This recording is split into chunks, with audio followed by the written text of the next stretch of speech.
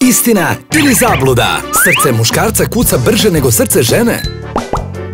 Ovo je zabluda. Koža polarnog medvjeda je crna. Istina. Nemoguće je kijeti otvorenih očiju. Istina ili zabluda? Pitanje je sad. Društvena igra za celu porodicu. Deksiko!